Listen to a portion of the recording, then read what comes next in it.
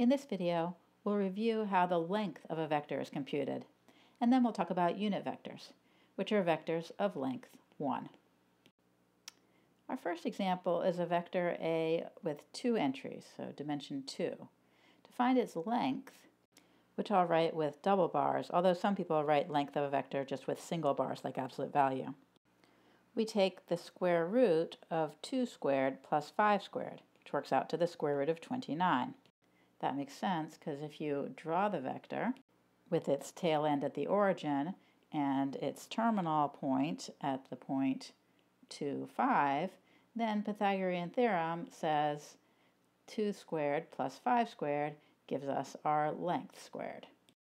If we want to find the length of this three-dimensional vector, this vector with three entries, then we use the three-dimensional version of Pythagorean theorem.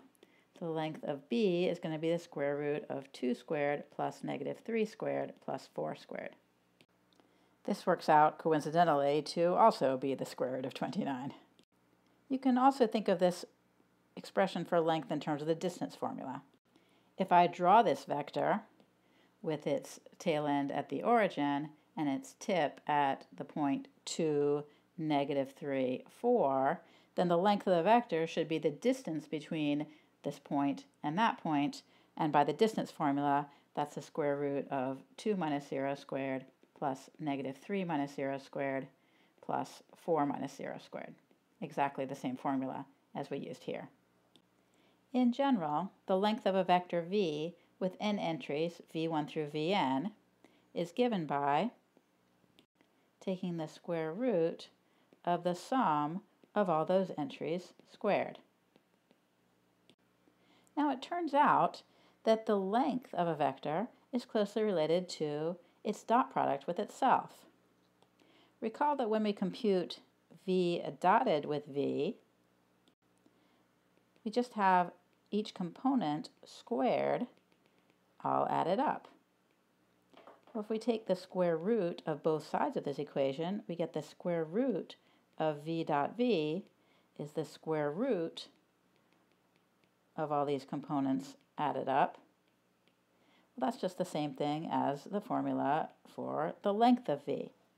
So we have that the length of v is the square root of v dotted with itself, or if you prefer, we could write that as the length of v squared is v dot v.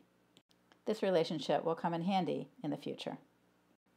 A unit vector is a vector of length 1. So let's check, for example, if this vector A is a unit vector.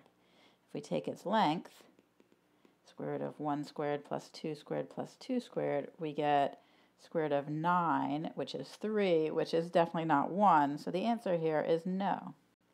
Sometimes it's convenient to take a vector that's not a unit vector and rescale it to be a unit vector. In other words, multiply it by a scalar, by a number, so that that product is a unit vector. So what number would I have to multiply a by to get a vector of length 1, given that its current length is 3? If you're saying multiply it by one-third, you're exactly right multiplying by one-third will shrink it by a factor of 3 and get that length of 3 down to a length of 1. Let's just check it with some arithmetic. One-third times a is one-third times each of these entries.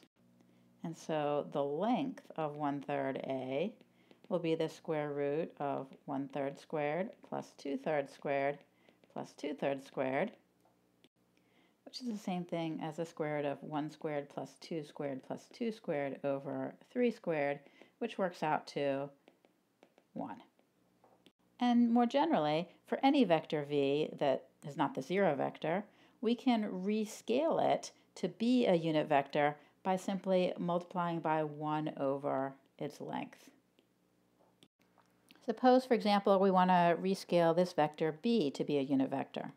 Well, the length of b is the square root of 7 squared plus 3 squared. That works out to the square root of 58.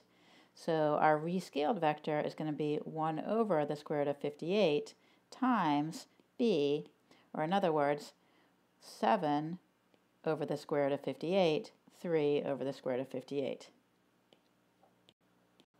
And that's all for this video on unit vectors.